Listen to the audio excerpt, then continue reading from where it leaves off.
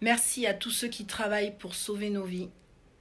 Les autres, prenez soin de vous en restant chez vous. À bientôt.